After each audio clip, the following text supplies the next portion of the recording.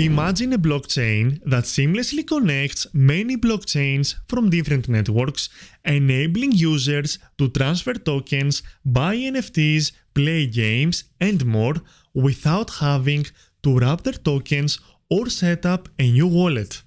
Well, this is where Axelar comes in. Axelar, also known by the market ticker AXL, is a blockchain that connects blockchains. At its core, Axelar aims to develop and deploy secure cross-chain communication for Web3 applications, which it hopes will allow the creation of the Internet of Blockchains as a universal development platform. But what exactly does all that mean? And why Axelar is a game changer in the crypto space? To find out, first I need to explain what Axelar is, how Axelar works, and what the tokenomics of the AXL token are. Founded by Sergey and Georgios back in 2020, both of whom were among the founding team members of Algorand. Fundamentally, Axelar aims to empower developers with new technologies that allows for the access of assets across many blockchain networks.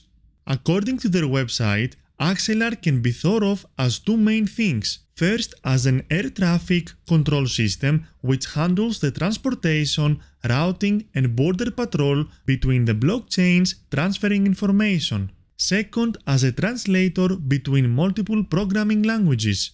Meaning Axelar aims to handle your traffic no matter which blockchain or specific program language was used to create it. But before we get too deep into how it works, I need to quickly cover two definitions, Web3 and the Internet of Blockchains. Web3 refers to a vision for the next generation of the Internet, emphasizing decentralization, user control, and enhanced privacy. In Web3, blockchain and decentralized technologies enable users to interact with digital services without relying on central authorities. The Internet of Blockchains, on the other hand, refers more metaphorically to a concept of what Axelar intends to be. In short, the Internet of Blockchains refers to a vision where various blockchains seamlessly interoperate and communicate, creating a unified ecosystem that allows different blockchains to exchange information and assets trustlessly. The concept envisions a scalable and collaborative blockchain infrastructure, enabling applications and tokens to interact across blockchains, creating a more interconnected, versatile, user-friendly and decentralized ecosystem. The Cosmos network is an example of this, using the Cosmos Hub as a central point of communication for a network of around 50 independent blockchains.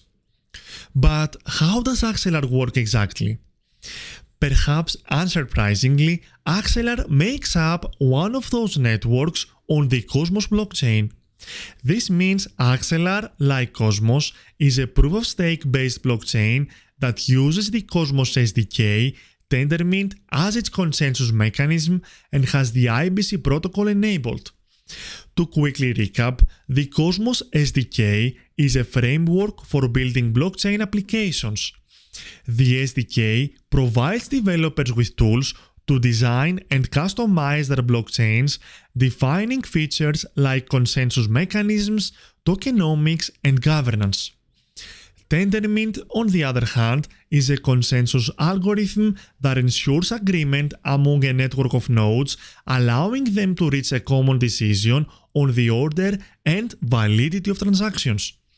Lastly, when the IBC protocol is enabled, allows interoperability between different blockchains in the Cosmos ecosystem, creating a decentralized internet of independent blockchains. So you might be wondering what makes Axelar different to Cosmos, which itself is a blockchain of blockchains and also hosts Axelar. In short, because it connects to more blockchains than just a Cosmos network of blockchains. Cross-chain bridging is in itself unique, there have been wrapped cryptocurrencies for a long time at this point. But to explain that quickly, when an asset is bridged, you normally receive a wrapped version of the asset on the blockchain you have bridged to. This is because, for example, only Bitcoin network can mine BTC. So even if you transfer Bitcoin to another network, that network has not mined Bitcoin. It has instead given you a wrapped receipt that you can use on the bridged blockchain. This receipt is a direct one-to-one -one conversion that is pegged as a stablecoin to the price of Bitcoin, meaning its value will always remain the same as Bitcoins even if it's wrapped on another network. Though back to Axelar because Axelar takes things a step further. With Axelar, the connections are universal and users can swap assets across any supported chain, regardless of which chain it is or which programming language created it thanks to their General Message Passing or GMP protocol. It is the General Message Passing protocol that allows for this full interoperability between Cosmos, Ethereum, Arbitrum, Avalanche, Fantom, Polygon and more. This is partially because GMP protocol removes the need for users to revert their wrap tokens to their native network before they can be wrapped into another asset which not only takes time but can cost more in fees. In short, through Axelar's network, users can participate in multi-chain DeFi, play a game on any network or buy an NFT from any marketplace without having to download another single-use crypto wallet. But how about the tokenomics? As with most proof-of-stake projects, AXL can be used for all the classics like governance, payments, staking through validators and is also distributed as a reward to those who participate in the network such as by running nodes, participating in governance or providing liquidity to the network. In total, there will be just over 1.1 billion AXL tokens released, with around half of that making up the current supply. Of the initial 1 billion that was allocated at launch, 29.5% went to the company, with 17% going towards the core team and 12.5% towards company operations. A further 29.5% was given out to backers, with 13.5% going to those who invested during the seed round of funding, followed by another 12.5% during the Series A funding, and the final 3.5% during the Series B funding. In addition, 5% went to the community sale and the remaining 36% went towards community programs, which includes an insurance fund for the project. All of this has a vested release or emission schedule which releases these allocated tokens slowly over time, meaning all of these allocated tokens will not be on the market until sometime in 2026.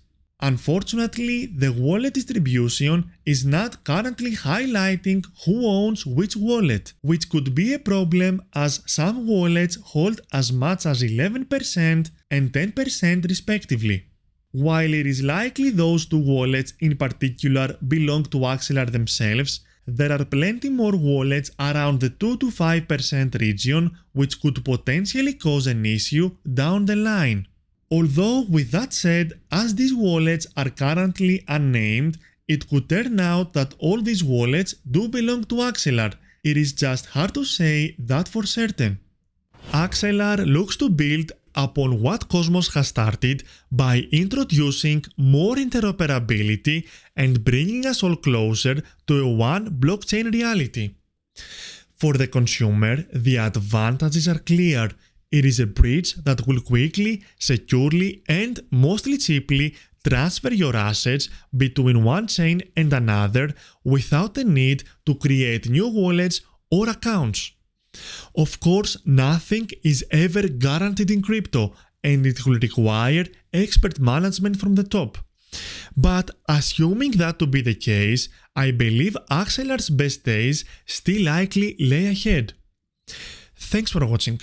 If you liked the video on Axelar and you want to learn more about emerging Cosmos blockchains, click here to watch the video on Neutron or here to watch the video on Celestia.